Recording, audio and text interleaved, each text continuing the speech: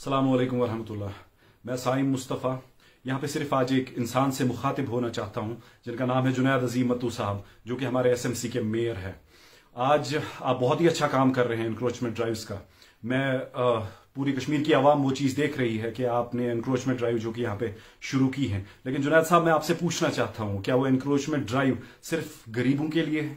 क्या अमीरों के लिए वो एनक्रोचमेंट ड्राइव्स नहीं है? क्या वो एनक्रोचमेंट ड्राइव सिर्फ़ पटरी वालों और रेड़े वालों के लिए है? क्या उन लोगों के लिए वो एनक्रोचमेंट ड्राइव्स नहीं है जिन्होंने पाँच पाँच माले की बिल्डिंगें खड़ा की है? आज का डेटा आप देखिए, आज का डेटा जब हम चेक करते हैं, इस टाइम पे सौ करोड़ के इलीगल कंस्ट्रक्शन तीन महीने में आए हैं। सौ करोड़, जुनैद साहब, सौ करोड़।